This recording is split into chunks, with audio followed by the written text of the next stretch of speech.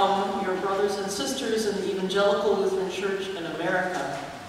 I'm so honored to be a part of the celebration of the life and ministry of Bishop Rosemarie Köhn. Uh, and thank you for the lovely weather that you've arranged uh, she's, we hear that uh, it's even asked, um, or said, somebody has to be first.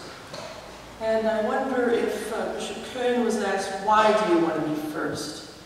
Do you want to be a revolutionary? Do you want to be famous?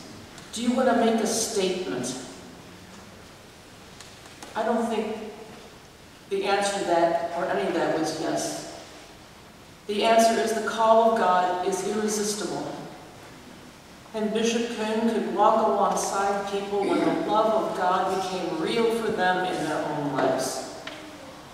I'm a first, though not an only, so I understand some of the obstacles that Bishop Rosemarie must have encountered. But it's because we've been called by God to serve God's people. And it's a joyful, sometimes frustrating, but a joyful call.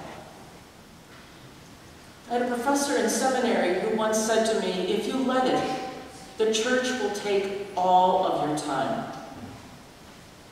And so I also want to give thanks to Bishop's dear wife, Susanna Sunderboom, for sharing your dear wife with us in this ministry, and for you being a first, not always easy.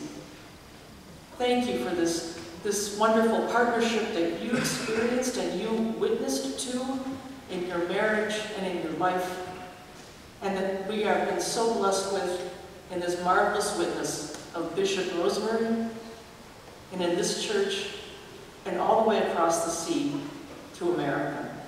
God bless you.